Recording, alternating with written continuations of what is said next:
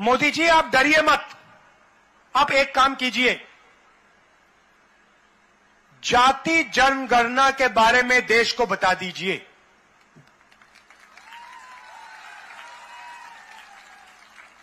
भाइयों और बहनों, यहाँ जो हमारे पिछड़े वर्ग के लोग हैं, आज नरेंद्र मोदी जी ने कहा है कि इस देश में कोई जात नहीं है।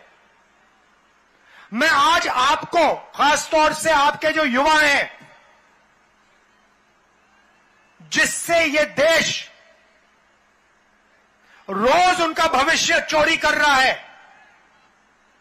मैं उन आपको कुछ बताना चाहता हूँ। नरेंद्र मोदी जी ने ओबीसी शब्द का प्रयोग किया। प्रधानमंत्री बने। 24 घंटा देश से कहें, मैं ओबीसी हूँ, मैं ओबीसी हूँ, मैं ओबीसी हूँ। मगर जब ओबीसी की मदद करने का समय आया, जाति जनगणना करवाने का समय आया,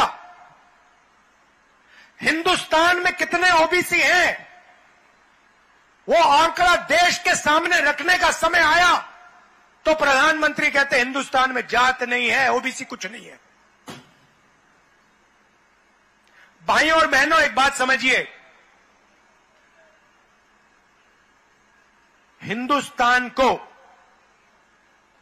एमपी नहीं चलाते। हिंदुस्तान को प्रधानमंत्री नरेंद्र मोदी नब्बे अफसरों के साथ मिलकर चलाते हैं।